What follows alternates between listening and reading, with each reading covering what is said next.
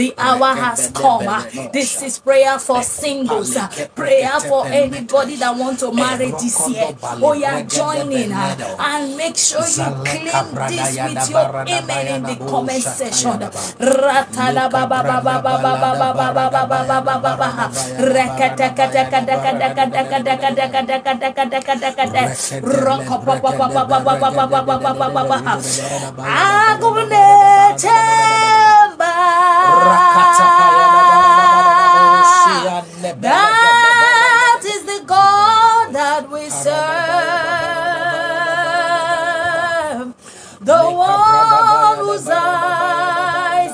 fire.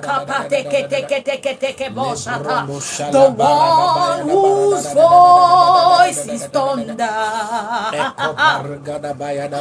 Agune chemba. Kapalere bosha. Come and show up in your power.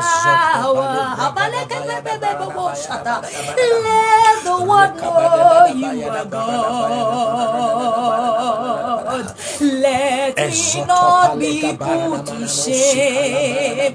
You will not be put to shame. I'm a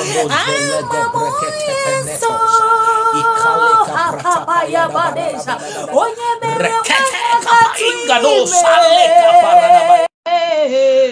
Jena mu wakana kpoya.